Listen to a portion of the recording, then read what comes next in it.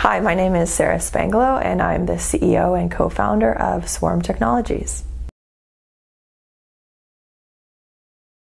So, working at Google X was very awesome overall. I was so excited to start there. It's a place where extremely smart people come together. Um, often they're kind of the best from where they came from, and they come to Google X because it's some it's a place where they can use all those skills and expertise and work on problems that will affect the real world, which is kind of a dream for an engineer. So, working on a drone or a high altitude balloon that will solve for connectivity or a self driving car technology. There's a lot of energy there. People are very excited about what they're working on. You know, I think the biggest thing that I probably learned there was around culture and how to grow teams and how to keep people happy and how to be very clear in communicating goals and whether or not people are meeting milestones. And I think that's very important to kind of build out that culture in the way that we want to and ensure expectations are very clear and that we can all make sure that we're working towards the same goal. I decided that I really liked throwing parties.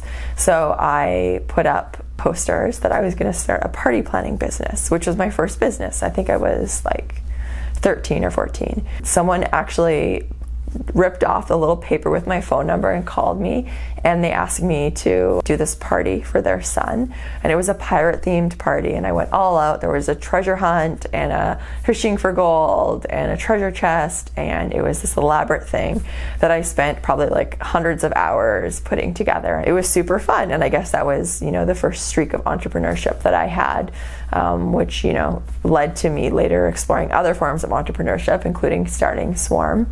And the best best part of this is that I charged her $100 for this event, which again was hundreds of hours, so it was making probably a dollar an hour.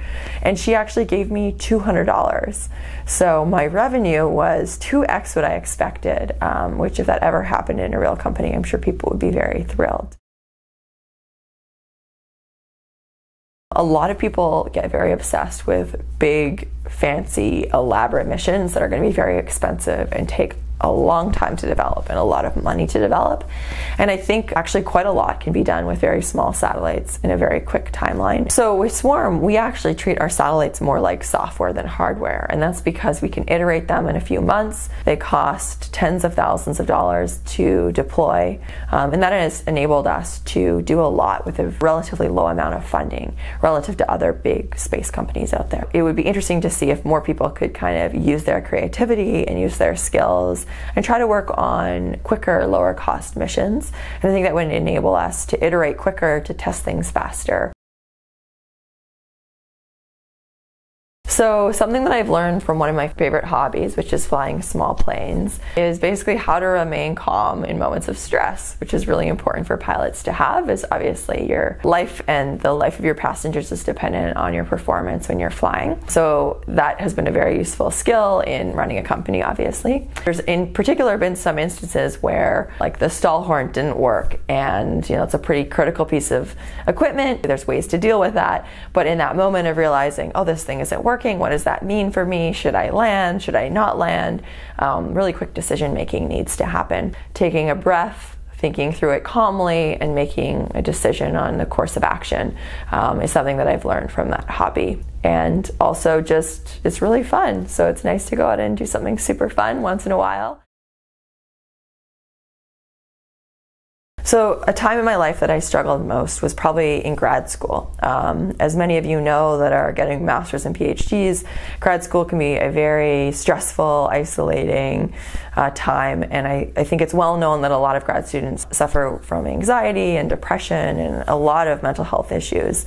Um, and I certainly was in that category. I struggled a lot with imposter syndrome when I first got there. I thought I was the dumbest person in the room. I struggled for never feeling like I was kind kind of accomplishing anything. I never got the A pluses that I was used to getting in my undergrad. I didn't feel like I was getting the right kind of feedback from advisors. You just never feel like you're you're good enough. So I think that's very normal. I've talked to a lot of friends that have felt similar in grad school, and I consider them some of the smartest people I know. I think when I finally defended my PhD and I won awards and people were saying really positive things about my research, it was only then that I realized, oh, maybe I'm not a fraud. Maybe I actually know something.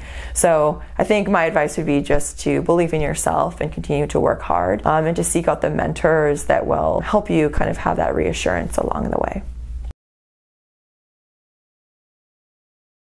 So people are often surprised to learn that I grew up doing ballet and I actually studied classical ballet and did these fancy British ballet exams growing up. And it was a it was a highly structured, um, lots of discipline involved, lots of control. I think it helped me become very disciplined about my schoolwork and, and hopefully that's led to me being disciplined throughout my career and organized and those sorts of things. So someone that has inspired me my whole life Shelly Shear, who um, started the dance school where I grew up. Shelly is just, um, she's a wonderful person and she just brings together all of these amazing qualities. She's highly intelligent, she's very elegant. Um, she's aware, she thinks of how decisions will affect everyone around her, and she's a successful entrepreneur. So, growing up, I, I really idolized her, and I love going back and visiting and, and telling her my stories of pursuing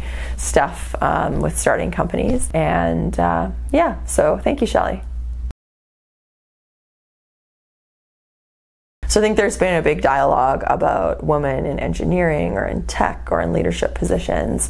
And it's something that I get asked pretty often. You know, how does it feel to be a female entrepreneur, female founder? I'm just kind of sick of answering that question. I think sometimes people don't expect maybe that there'll be a woman CEO um, at a company, but now we have this great thing called the internet where you can research so you know before when you go into a meeting. I know a ton of extremely talented uh, female entrepreneurs, and I think we should just focus on the companies and how great they are. And yes, we should be good role models and show that it can be done, but I'd rather kind of shift the narrative to you know what we're doing in these companies and how phenomenal they are.